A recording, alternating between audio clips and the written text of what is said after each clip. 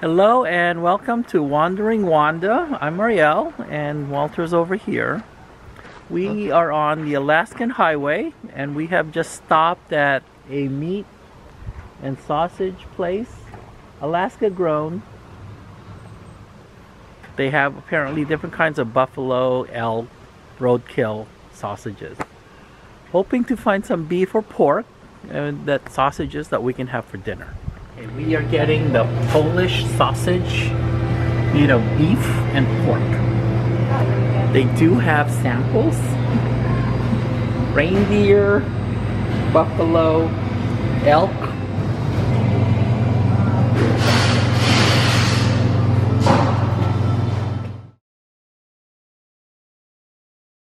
We are here as part of the tour. It's called the Alaska Sa- Salmon Bake. I'm just hoping the salmon is not dry because this is kind of like a medieval times thing, I think. And that's what I'm hoping. I'm just hoping the salmon's not dry. Okay, dinner was good. The fish, the salmon was fresh. The roast beef was tender. The cod, halibut? Halibut was a little bit dry. The beans was good. The salad was good. So, it's a yes for dinner here. Right? Excellent. Salad was great. Love the prime rib. Okay. Dessert fabulous. Here we are at the Alaskan pipeline. At least this is where it comes up to the surface. And then goes back down again.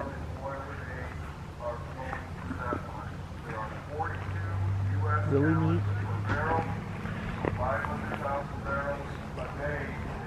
Four big pumps are in operation right now, moving that oil up over the mountain passes. Section of the actual pipe. It's a 48 inch inside diameter, little over half inch thick steel pipe, and that's where the oil is not wet.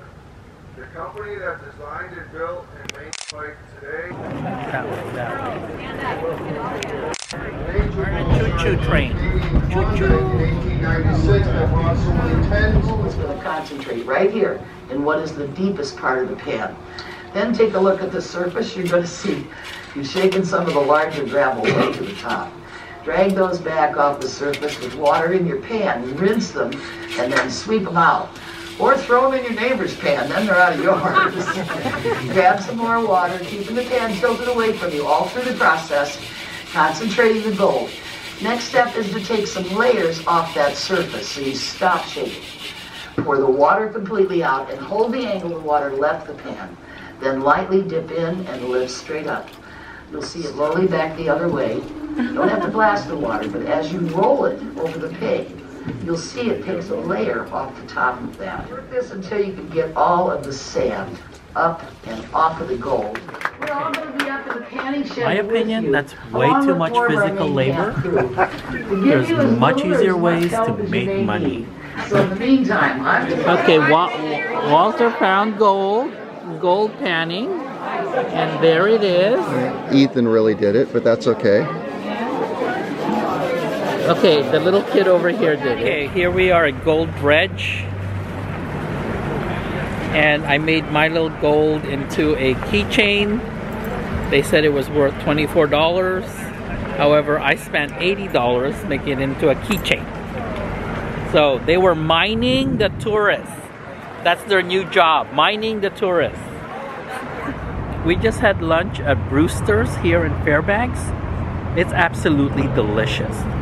I had a Brewster's dip. The meat was nice and tender. It was not dry.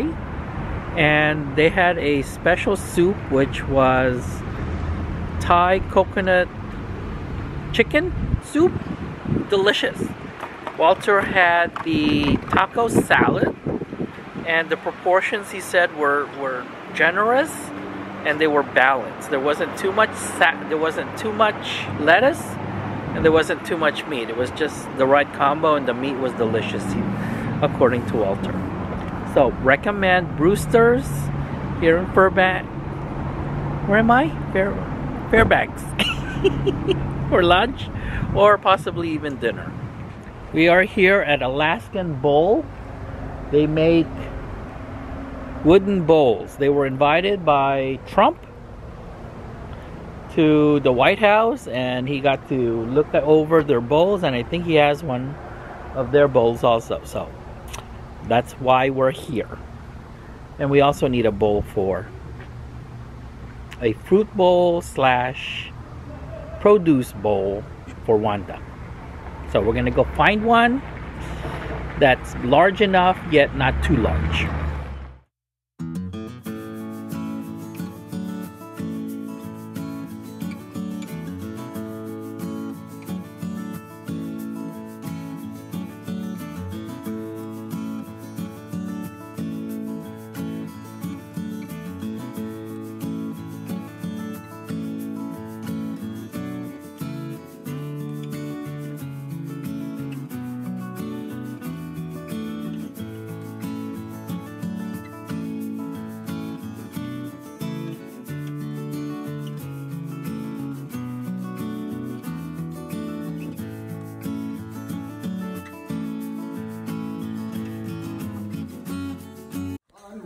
Number two, he declared his name and Michael's what it was.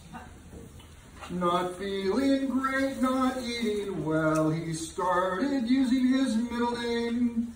Malcolm became the name of choice, but he was suffering all the same.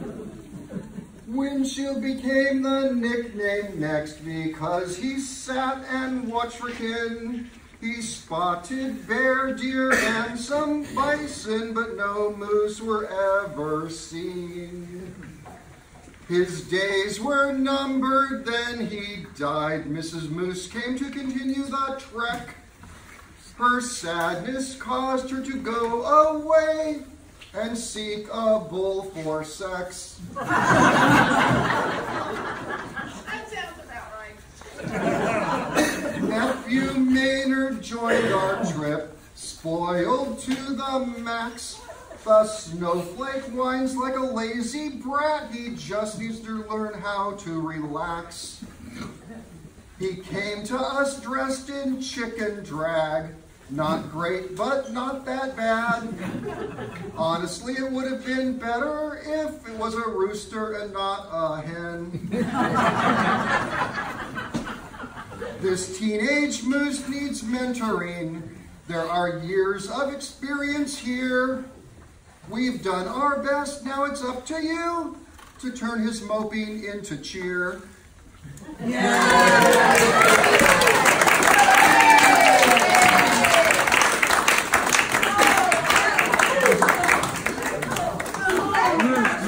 All right, we are at I don't know where we're at. Riverview. North Pole, Fairbanks, Alaska. I don't remember the name of the park. Riverview RV Park. Okay. Would we stay here again? The answer would be yes. I did not. It's a wet, dreary day. It's just been raining consecutively for the last two days. It's still raining now. My pants are soaking wet. Oh, just take them off. I could do that, but anyway, the laundry facility is actually nice. It's two dollars for the wash, which was just 30 minutes, and then two dollars for the dryer, which is 45 minutes. I did not check out the bathroom or the shower area. You need a key for the laundry room and also the shower facilities, which they give you at check-in, and you keep that key until you leave and you hand them back the key. In our case, we handed it back to the wagon master or Tail gunner. the tail gunner. Uh, 30 amps, sewer, and really high water pressure. I don't have a water pressure tester, but it's a really high water pressure. Excellent. So make sure you have a water pressure regulator if your rig does not come with one. The Airstream does come with one, but I also use an external one, which is from I don't 50 to 55 psi. So it's the high water pressure to begin with that I use, but this one's even higher. So again, Excellent. recommendation bring an external water pressure regulator if your rig does not have one. So as far as this RV park at North Pole goes, yes, I would stay here again. Okay, we are on our way now to to Denali. Denali Rainbow Village RV Park in Denali. And it And it- should be about three to four hour drive from here. Okay, all right. Thanks for watching. Bye.